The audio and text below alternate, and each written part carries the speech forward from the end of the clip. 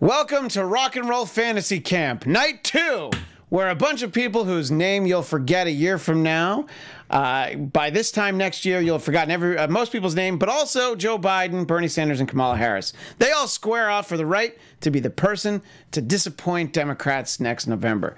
Millions of Americans tuned in for a conversation on differing opinions as how to best lead our country in a post-Trump America.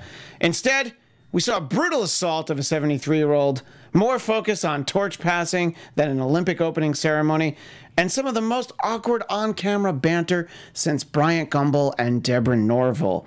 Yes, the Trump Report Election Night Special, Night 2, starts now. You're tuned in to AfterBuzz TV, the ESPN of TV talk. Now, let the buzz begin.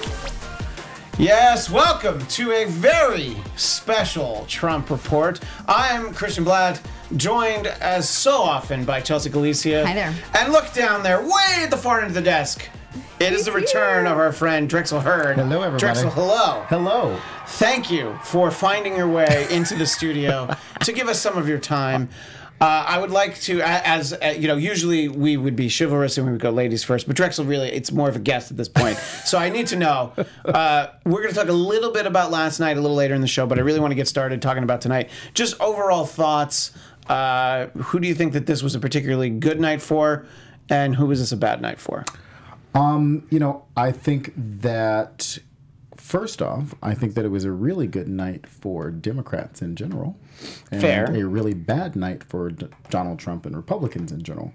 Um, if I was to pinpoint like a handful of people, uh, Kamala Harris definitely won the night tonight. Um, just not not on not only on policy, uh, but also uh, on on the way that she kind of handled herself on the stage and personality. Yeah. Um, Pete Buttigieg certainly did well. You know, you cannot uh, deny the charm of the vice president, um, Vice President Biden, uh, and Kirsten Gillibrand. I think she's an honorable mention in that as well because I think she started out really strong, um, kind of cutting her way into a ten-person conversation. But uh, it is undeniable that our junior senator here in California uh, definitely won the night tonight. Um, before we talk about you know who had a less than great night, uh, same question for you, Chelsea. Who do you think uh, particularly stood out as having a good night for you?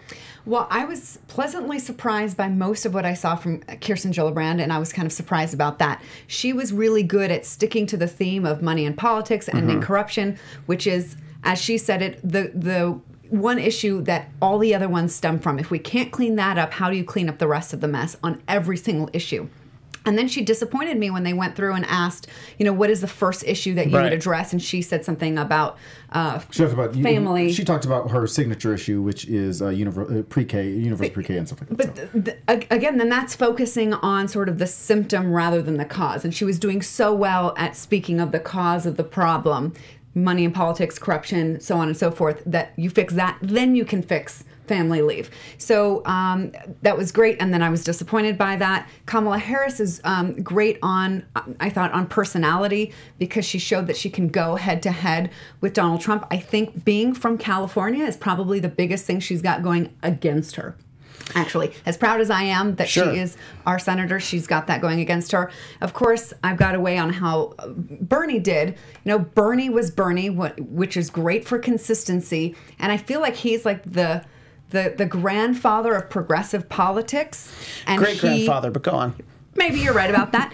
Um, and and then now, sort of the the younger leaders have have taken the torch. Actually, um, I, I don't think Joe Biden or Bernie Sanders needed to hand it specifically to Eric Swalwell for the younger people to actually take the ideas of Bernie Sanders that were so radical in 2016 that are now pretty common and everybody's saying a, a variation a degree of what he was what he made an issue uh, in 2016, which is Medicare for all. But again, um, for me, the ones that stood out were all the comments about the money and politics. And I, I, I thought that Andrew Yang did a good job of getting in there from a nobody to say, I have a solution to the problems that got Trump elected. A lot of it has to do with automation, and one of the solutions is this freedom dividend. He didn't obviously get a chance to explain it, but I think he got himself in there.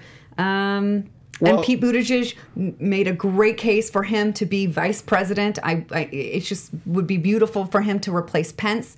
And I actually thought that the most uh, the the issue that hurts him the most. Um, the relationship with the black community because of the police shooting involved in his community. I think he had the best response that you could have, which is, I didn't get it done. For somebody to admit that they could not do it and, and didn't make an excuse for it, just said, I haven't gotten it done. And we can't expect our leaders to be perfect in every area, but to take responsibility for where he has failed and not kept up to the, the vision and the goals and the, the promises that he's made is, is the least that somebody can do and is a very different picture from Donald Trump, who could you imagine him taking personal responsibility for anything? So I, I thought that that was actually a highlight moment of the entire debate and him personally, aside from his uh, hypocrisy about the Christians. That was pretty great too. Uh, well, I mean, first of all, uh, President Trump, I think, will certainly take credit for having much better ratings on Celebrity Apprentice than Arnold Schwarzenegger ever did. I think he will certainly take all the credit and responsibility That's for not that. personal responsibility No, yeah, for I- when you don't when you I- I don't do think- well. I When- think we disagree about how important that was and what a disaster Arnold Schwarzenegger was for this country. Um, but no, I do know what you mean, obviously. And uh, for me, I'm look everything you guys, everything that you both talked about. Uh, I, I don't disagree with any of it. I think that a lot of people had uh, good moments. Uh, for me, uh, let me put it back on both of you. Do you think it's a great night for somebody like? Eric Swalwell, who I think I don't even say his name right. We know But- his name. Swalwell. Swalwell, yeah. He But actually see, was but on our show. Yeah. but, uh, but- well, see, there you go. years ago, See, that's that. So that's a that's a great starting point. Just for the fact that people are seeing him probably for the first time. Uh, I I I knew he was running for president, and I'd read articles that he was mentioned. I don't think I'd ever actually seen him speak before. I must have missed that episode of your show. You- he's on a lot of cable news. Right. He's been Well, putting himself here's, out there. Here's the thing, though. I think that uh, an event like this is. Look, it, it's like the Super Bowl for well, it's, it's like the first round of the NCAA playoffs for people who watch cable news. But I think you have people who don't follow so closely are going to tune in for something like this. And when you see somebody like that, and you know he definitely had good moments. I mean, I think he leaned on the uh, passing the torch thing one time too many. It was just like, oh, I kind of wish he had something else.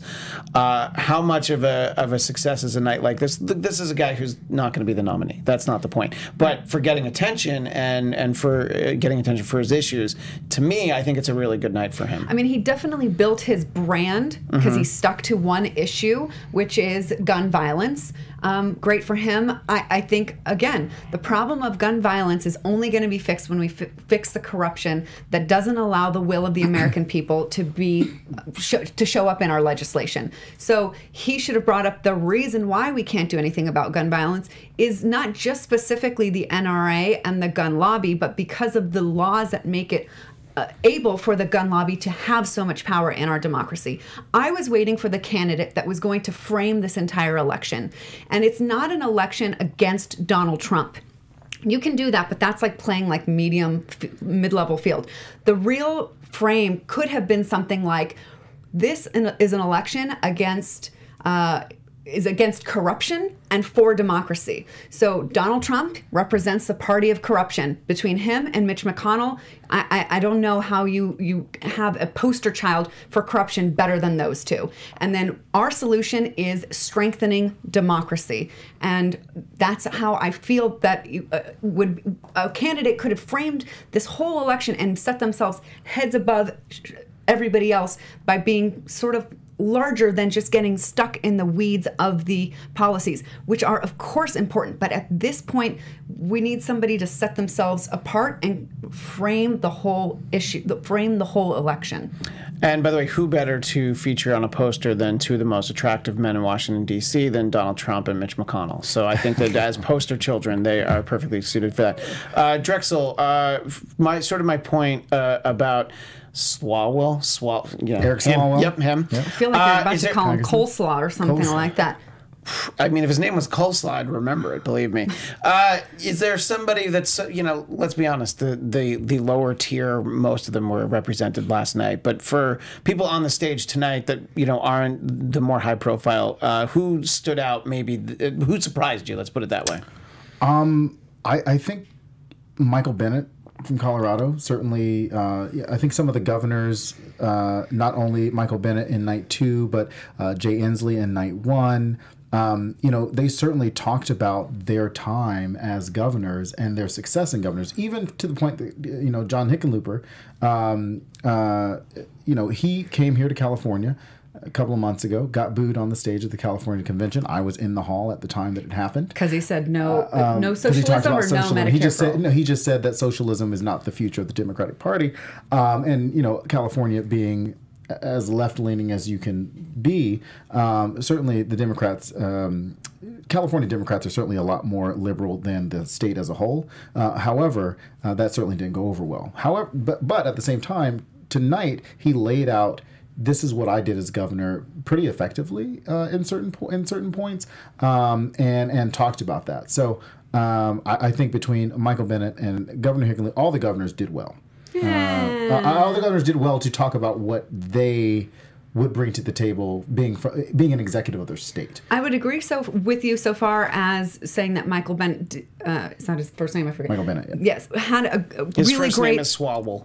had a great uh, uh, answer in that gridlock won't end unless we get rid of Mitch McConnell. That is some some truth. We need to win the Senate. He spoke about gerrymandering. I think he was the only one who mentioned the word.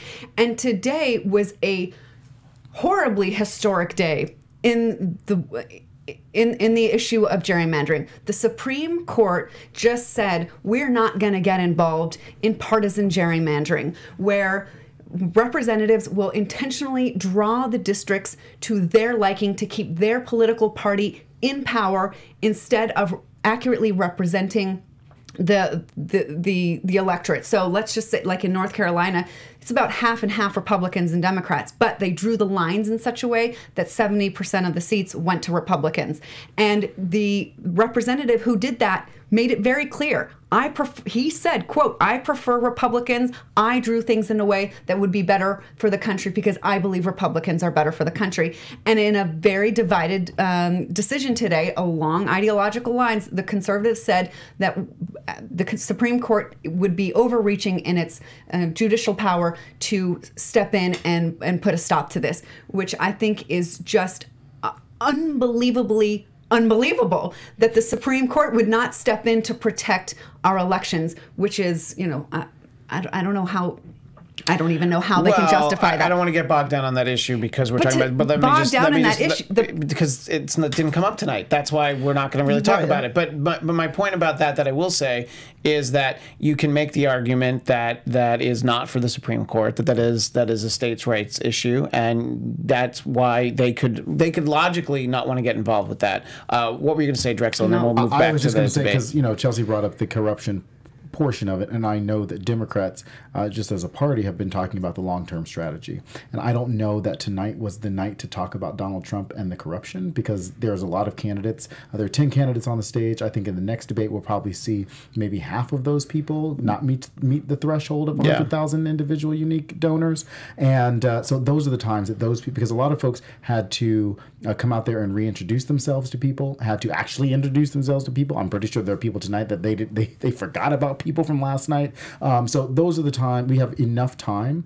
um, over the next couple of months as we get through more debates to actually frame the parties uh, message uh, as as to how to go after Trump, and I think it's going to be very difficult if you're not asked direct questions about that uh, to kind of weave that into it because there's a lot, not a lot of time. Uh, Sixty seconds is not a lot of time to kind of make a debate that's not it's solely about you as a candidate from the Right. jump. Speaking of questions, can we debate the the the quality of the questions? Did you think that they were good enough to get some to give you a real idea of where these people I, I think are, some of the questions uh, were good, and that goes to both nights. Uh, and I think some of them, you know, I- I, I think I, I don't know for uh, for a debate this size, it's very difficult to try and include everybody in it. I think that they raised some good issues that they clearly knew that you know the the racial issue was going to be something that uh, you know that is for something for Mayor Pete to talk about, and then also they they knew where they were gonna when they were gonna get uh, where they were gonna um, rattle Biden, basically, you know. So it was very pointed, but I think a, an event like this needs to be, you know. I, I don't. I mean, it's not. you know, it's not a. Uh, despite what uh, the other side will tell you about MSNBC and the personalities on it, I mean, this was not like a you know a DNC event. So also- I think the fact that some of the candidates looked uncomfortable at times was good. I, I think that they shouldn't coast through this debate because whoever is the nominee is not going to have a, an easy time against uh, President Trump, and whoever uh, is you know uh, on a stage with uh, with Pence for the VP debate. What were you going to say, Drexel? I was just going to say, I think that you know, I always go into movies, and you know, my husband Tim will tell you uh, that I always go into movies uh, with low expectations of what I'm about to watch, and I think that we have. Two, we go into we went some folks went into this first debate thinking that it was going to be the one to set the tone. Th- this was not a debate to set the tone of this of, of the primary. Right. it, it's just something that there are just too many people.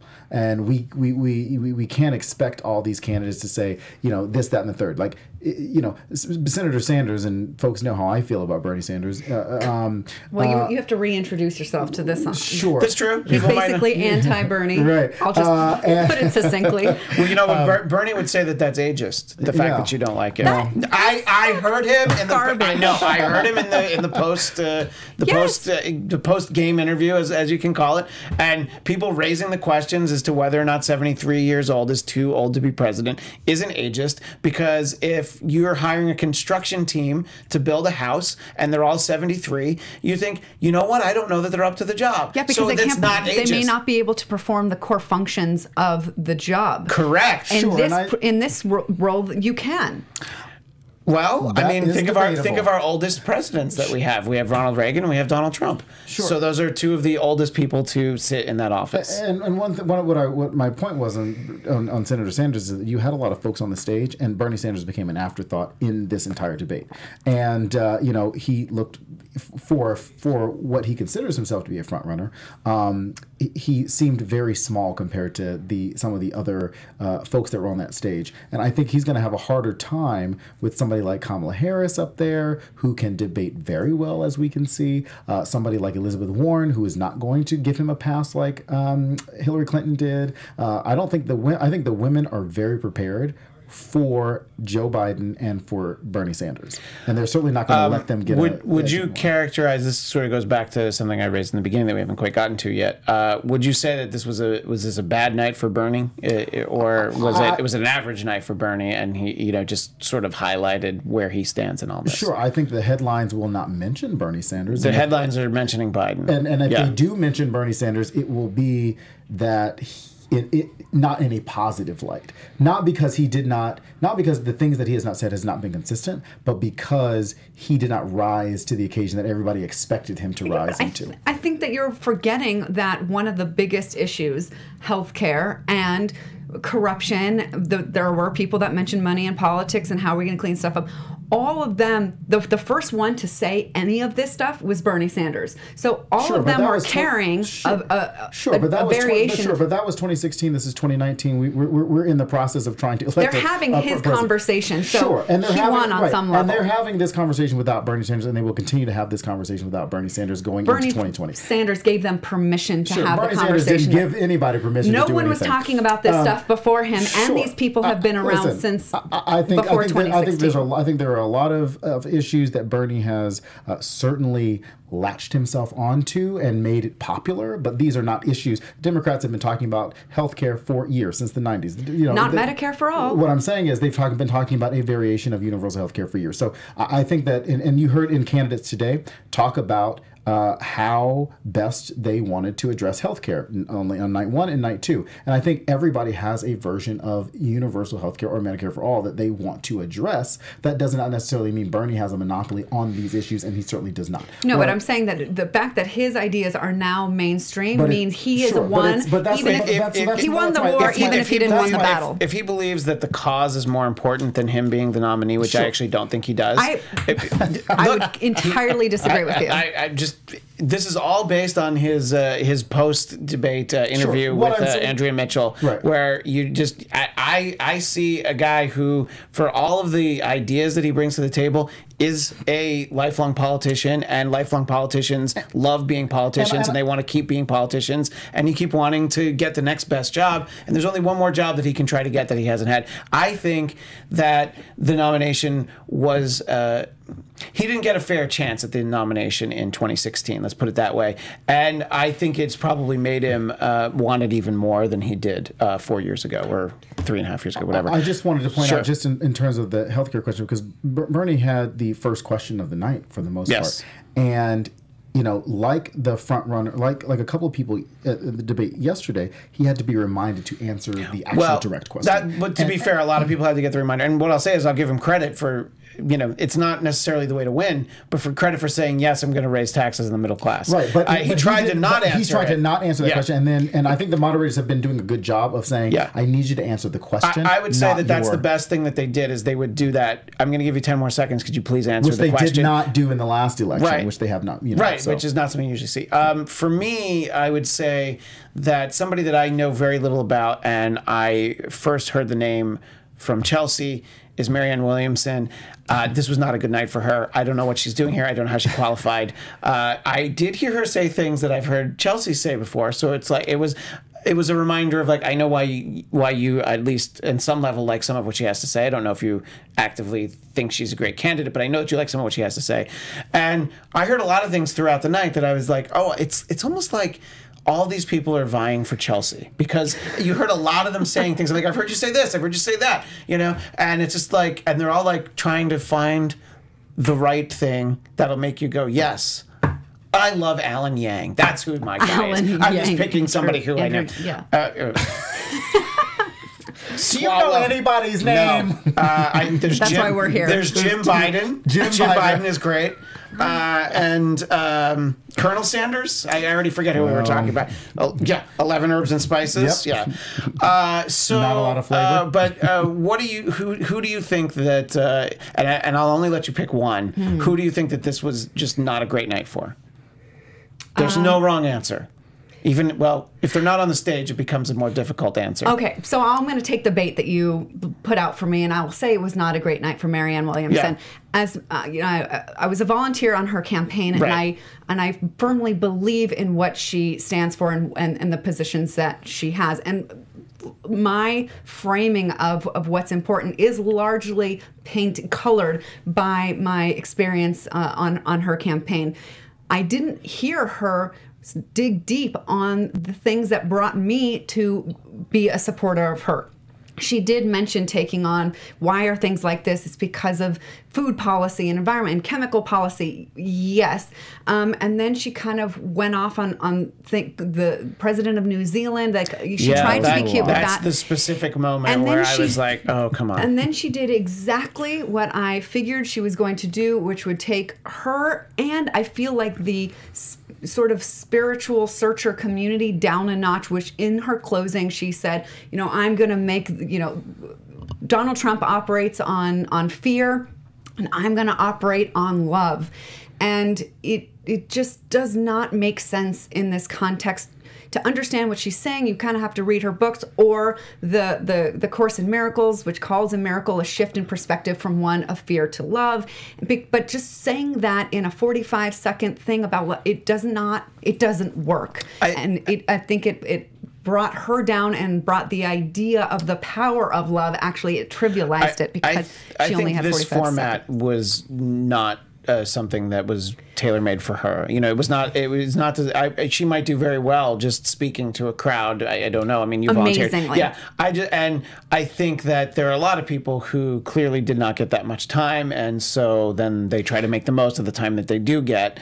Uh, but uh, yeah, I, I think it's one of those like in life, like a thing to do is to hear Marianne Williamson speak when she is at her best. And I'm saying this as somebody who has not donated to this campaign at all, who has not volunteered, and who's who's frankly had a bit of a personal falling out. Um, but to to listen to her and to under to she is phenomenal. But I knew that this was not gonna turn out well. This is not where she does well, and um, I think it was you know unfortunate for her um, that she chose you know. And I knew a very long time ago that she was planning to run for president, and I uh, have never thought it was a good idea. And her whole thing about she just wanted to get on the debate stage, but that is not going to do anything for for her or for the the perspective that she wishes to um, encourage the American people to take. So I, I would say that that was the unfortunate uh, outcome for her. the night. I, I want to uh, use the phrase "Me Too" not in the way that we use it now, but in the way what it used to mean, which was the, and that's the way that I think that Joe Biden was using it because he invoked a lot of Obama's track record, and it and it was in the the old style of Me Too, like, "Hey, I was there too. Remember me?" And I you, look. I don't know how involved he was, but as vice president, it doesn't strike me. I, it struck me as he was taking way too much credit for what President Obama did, and I don't know a better way he could have done that. So I'm not even saying that it was right. Just I think he did it one time too many for me. Uh, am I wrong in in that feeling, Drexel? Uh, do you think he actually is more involved or was more involved uh, in the Obama administration than I think he was? I mean, I don't know. We weren't there, but Yeah. I think that President Obama is the m- m- most popular Democrat in the country, and if you're going to tie yourself to Oh, anybody, I- he is Well- the most popular Democrat in the country. And uh, so, if you're going to tie yourself to Where's somebody, that poll? I need Scott. Where you're the heck is Scott to when you tie need him? yourself to somebody? Um, you're certainly going to tie yourself to uh, you know to, to President Obama. So Do you think that President Obama would w- have won this debate if he was up there in in either of these rounds Well, well, yesterday? or now that, he, that he's kind of like retired, he probably started smoking again. You know, he's But just the- hanging but out. now- he seems too Presi- moderate. I think that President Obama, if if it was a 2007 President Obama going up against this group, President Obama would be fine in this in this group because if you remember, President Obama came with a lot of fire in 2007. He was um, a lot more left uh, Yeah. uh, of the thing, and I think the presidency forces you back to the center because now you have a whole swath. Which of is why you need to go in a little bit more to the left, so when it pulls you back to the right, Sure, you end but up in the don't. But you center don't and want not to. You don't the want right. to go off the cliff. Right. And I think that some people There are ready no- to go off the cliff. no, No, Um, look, but- regardless of how popular Obama is, it does make sense. He look, he's still very popular. Uh, I think you have a lot of Democrats that uh, if somehow all of a sudden it's uh, like, oh, actually, you know what, Sure. we, we, we missed some paperwork. He can actually get a third term. I think people would very happily And I vote. think, and I I- think I you see wouldn't. that, and I think you so see you, that. so you, you would you wouldn't vote for Barack Obama. Well, I mean, if he was no, a nominee, your ba- but if he if was your on ballot one is of Barack 20 Obama, Donald Trump, you're just not going to vote that day. That, that is not what I said. okay, well that's why I. That's I'm why I saying had to, if he was one of the 20, he Right. would not be my choice for the nominee. but I think the other so part. Jimmy Yang, Jimmy Yang would be your choice. Oh my Sure. God, Jimmy Yang. Uh, but I think the other part of the the the equation certainly are African American voters, which is Barack Obama is like probably 98% approval rating amongst African American voters, uh, particularly in the Democratic Party. So I think that if you're going to tie yourself, Joe Biden is polling higher than anyone uh, in this race with African American voters and higher than the two African American candidates as well. Kamala Harris certainly is racking up the endorsements in South Carolina as she should be, um, and I'm sure she'll do Maryland. She has racked up almost every endorsement here in California. Um, so you're starting to see that. But I think Joe Biden still being the most popular candidate among African American voters, he's going to tie himself to the most popular African American candidate because he knows that is going to win over African American voters. So it is a smart move for from a numbers game. Um, I don't know how that's going to play over well. Um, you know, a, a- as we start to look down the down the line, but you know, it- you know, to go back to your question on who, who kind of lo- who kind of Lost probably shouldn't night? be on this stage at all. Um, Marianne Williamson. A, well, like, but- she won the criteria. She No, got no, the yeah, but- criteria. but she should be what, on the I'm stage. saying, what I'm, what, I- what I- yeah, yeah, she won't be on the next stage, is what I'm saying. Um, she, she's there's no way she's kidding. I would be really shocked um, after tonight. Um, but I also think that Andrew Yang really, for somebody whose main issue uh, was universal basic income, to not be able to explain how it works and to explain how you're going to pay for it when it is your signature issue is disappointing. It, it, I I was just like, that's a I'm- debate question what- issue, what which I'm is why I thought they got what like I'm saying is they, on they this. gave him the pla- they gave him the time Right. to talk about it, and they said this is it, and then he started to talk about it, and then I was like, so are you going to explain? Well, he uh, any of asked. that? He was asked only how, basically, how would you pay for it, and that's why he had to talk about. Well, it's hard to do it when you have Amazon paying no tax. You'd have to do a value-added tax and do a trickle-up economy. Yeah, Yeah, but you're that- trying to you're trying to oversimplify a question But by how just do saying. you- you oh, what I'm can't saying is- explain it for what I'm a saying if you if this is your only issue, is this the one issue that you are known for, and this is how you got to the debate stage?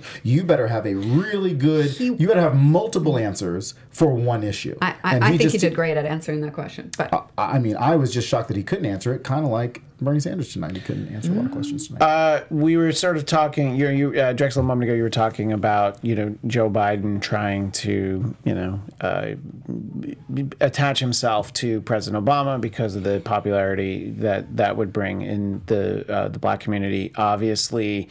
Uh, that's been a bit of an issue, and Kamala Harris uh, did a great job of raising it, and I think that is rightly what everyone is really talking about. There's some other. She had a lot of uh, really strong moments. One of which was when race. fight. Well, the food fight was good. That was the first one.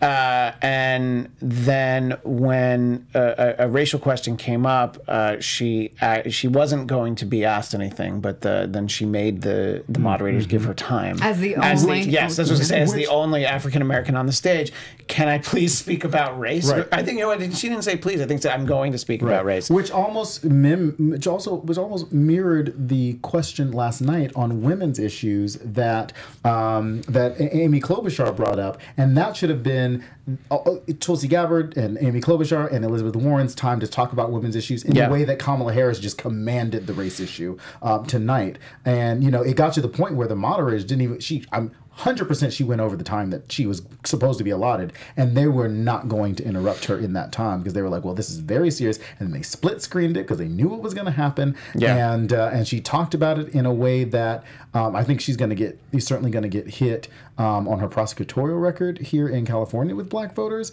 um, but it certainly gave her an opening Right. um, to be able to connect with black voters probably a little bit more than she has in the past by saying I'm addressing this head on and I'm going to continue to address this because that whole anecdote I mean it was bus- clearly it was bus clearly a rehearsed Yeah. anecdote Sure. Yeah. but it landed to where you where everybody was like well do you I think that what else to she's going to be accused of like destroying the front runner the way that Bernie was accused of taking down Hillary? I mean, if you try and take down Joe Biden I- on I- this really sensitive Sure, issue, I think no. I think that Kamala Harris um, uh, will be a candidate who people see as an equal to Joe Biden on a certain level. I don't know that that any. I don't know that a, obviously a majority of Democratic voters uh, agree uh, that Bernie Sanders was on equal footing in terms of um, with Hillary Clinton. But I think in this case, Kamala Harris is strong enough, and I said it today. You know, we saw what we saw a reason as to why Kamala Harris deserves to be on that debate stage, and what and what a, a large swath of uh, voters in South Carolina and in uh, California, and and what folks are going to start to see across the country. It only helps her in the polls to knock Joe Biden down a couple of pegs, because then the next debate. She went after Joe Biden. If I were Kamala Harris, I would go after Bernie Sanders next.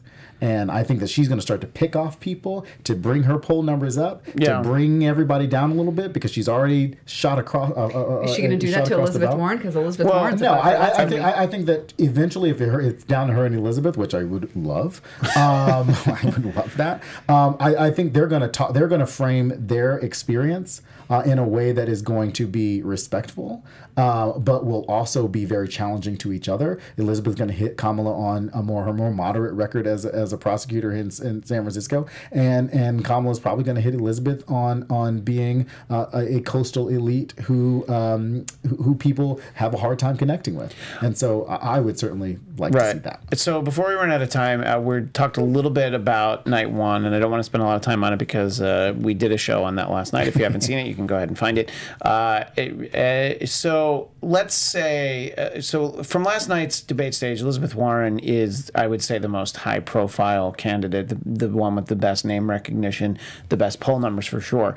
If you could only take, this is very hypothetical, if you could only take one other person, so out of that 10, Elizabeth Warren is going to move on to the next round, the next debate, but only one other person, who do you think, based on their performance last night, would be the, the one who, along with Elizabeth Warren, because it's, she's kind of an obvious answer, uh, who do you think eh, ha- was had the strongest showing last night and belongs on the debate stage? You know, more so than somebody like Marianne Williamson or other people who were up there tonight. I see Chelsea thinking long and hard. I'm looking over the uh, names that Drexel read yeah, out so if yesterday. Drexel has an answer, we'll I let, do. we'll let Chelsea continue to ponder. I- I think it should have been the person who should have been the vice presidential nominee in 2016, and that is Julian Castro. Yeah, Um, I did think he had a he had some really good moments last night. You know, I, I don't thought- know what that was. That's very Well, that was that was the Jerry Springer show. yeah. But um, but listen, We'll have we'll have our we'll be back with our final thought in a moment. Anyway, go ahead. Uh, but I, listen, I think that Julian Castro, um, I, I think his ability to jockey Beto O'Rourke last night Yeah. showed that he can debate well. Um, not only can he debate well, but he can attack well, and I think that you're that is something that um, was needed uh, last night. I, I wish that he would have called out folks who are there was a lot of Spanish speaking last night, and I w- and and, and listen, it it was a lot of Rosetta Stone style Spanish speaking last night. Um, but if I were him, you know, I, I would Yeah. remind people that you know he's the one that that that grew up in in the way that people believe Beto O'Rourke grew up, uh, and, and that is not the case, and that he uh, certainly is a candidate um, that will be able to reach out to a what I believe, and I'm sure everybody else knows, is going to be the largest voting bloc in America uh, over the next decade, uh, which is the Hispanic community. So I, I think that Julian Castro deserves to be on the next debate stage um, with the, with the big times, and then that will that will show us on whether or not he can be president. Um, I still believe he would make a great vice president. Sure. Um, and but Uh, so, but yeah. I, I don't have a response. All I do, all I can do, is come up with a reason to disagree with Drexel. One So you don't have to do. anybody. You think Elizabeth Warren is the only one from last night who, you know, again, this is a hypothetical. You don't you don't take anybody from last night. You send if if this. I mean, I guess I could say Booker, on- but like, no. yeah. Well, but, but here, but uh, if I, I could have a second to, to explain why I would disagree with Drexel. Julian Castro made a very passionate plea to um, to revert. I, I, I said this again last night, and I should the regulation Yeah, or right. uh, the part of the of. Uh, um, an act that would make sec- section 1325 right, right. that would make instead of it being criminally illegal to come across the border that it would just be a civil penalty and i think that um, not like we should all just care about what trump's going to say about that but that feeds into this whole open border thing and i think that more attention should be to helping the the area, the northern triangle, Guatemala, Honduras, and El Salvador, clean up um, the reasons why people are leaving. Uh, for us to fix as best we can the our the effect that we have had on exploiting the area. I think that would have been better than to say we should effectively make it easier and incentivize people to come over more. I think that that was going to turn off some uh, independents and definitely some Republicans. Sure, but I also think to that point, um, the question tonight about whether or not uh, illegal immigrants should have health care certainly is going to be a question that I, I- I think either way, Democrats are going to get hit because every hand went up on that stage tonight and- and on almost all the front I think it was a very So damaging question. I was to actually ask. shocked that they that nobody hesitated. Actually, Joe Biden was the only one that hesitated to raise his Yeah. hand, which I was like, "Are you going to He's raise when you your see hand?" 'Cause everybody else does do. it. right? And by the way, uh, if if you go, I think it's on the Drudge Report. You can see Oh, the cover. Well, you can see the cover of the New York Post from tomorrow, which is uh, it's that picture of everybody raising their hand, and then the question above it is who wants to lose the election, and everybody's got their hand raised. Uh, that's not an issue that I, I mean that can be an issue that uh, you know for.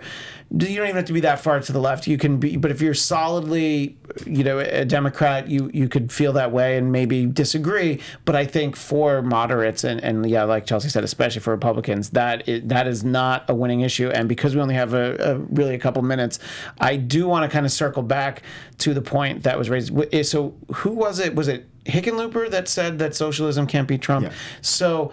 Uh, I'm inclined to agree that if the Democratic nominee identifies himself or herself as a socialist, even if you say Democratic socialist, uh, I think it becomes very easy for President Trump to run against that uh, because yeah. that's a very damaging word. So I'm not asking this specifically about Bernie. I'm saying if whomever the nominee is, if they identify as if the word socialist is something Mm-hmm. that they use to describe themselves, do you think that they can win against Donald Trump in 2020? Eh, Probably not, but this. Yeah. But I'm heartened by the language of like Elizabeth Warren and Sure. Kirsten Gillibrand, who is like, we want to clean up the corruption in our capitalism. Yes. And so um, I like that that language now is more center. I, I like the fact that we have more left candidates to that because then it makes them look center. Whereas if we didn't have Bernie, then they would be the left and then they would be ac- accused of,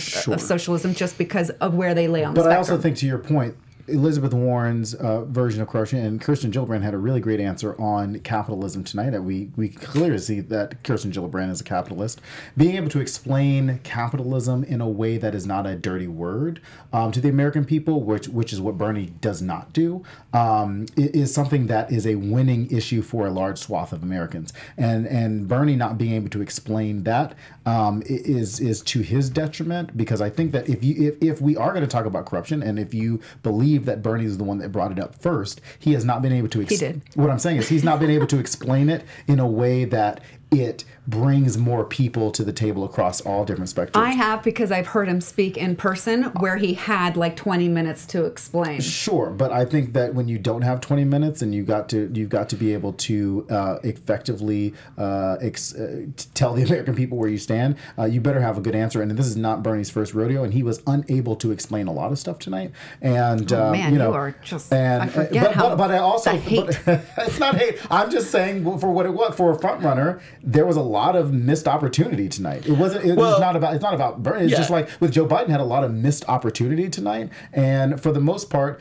Uh, you know that was a problem for him, and he was not able to do that. I also think that Democrats should have been tying themselves. If you want to really talk about corruption, they should have been tying themselves to HR one, which was the Democrats' first bill out of the House this year, um, and, and really talking about uh, the things that Democrats have been doing uh, over the last six months. Which is this is what Democrats are doing. This is what we plan on on, on going forward with. I agree with you. Know, can't say I agree with Nancy Pelosi, but I agree with X, Y, and Z and the policies that we've been putting forth. And Republicans haven't been doing that over the past decade or, or two. And they're blocking it because of corruption. They're not doing their job. Mitch Right. McConnell gets to decide which uh, Supreme Court members are, Right, you know. So, right. anyways. We're we're pretty much out of time, and I do want to give credit to everybody who was in the chat. Uh, Storage Yard resident pointing out that we have not incorporated the conversation from the chat. Storage Yard resident, uh, we love that you're always here. Here's what I'm going to say to you: uh, when we have our next live show, which will not be this Tuesday, it'll be Tuesday, July 9th. Uh, please raise the question that you did in the chat. Uh, which is uh, America does not need any more immigration. Uh, we don't have time to answer that, but we could spend a whole show on it. that. Well, that, that's why I want to really have that conversation, but we don't have the time for it. Uh, but what I will give you is that when I was talking about if uh, if uh, Barack Obama could magically get a third term, he said uh, uh, President Trump deserves a third term. Wow. So I, you know, he, it's through and through very consistent. so no more of Republicans saying we are law and order, we believe in the Constitution, Well, because that's literally. He just deserves it. Hey, I just tried to give Barack Obama a third term. All right, so let's let's be honest.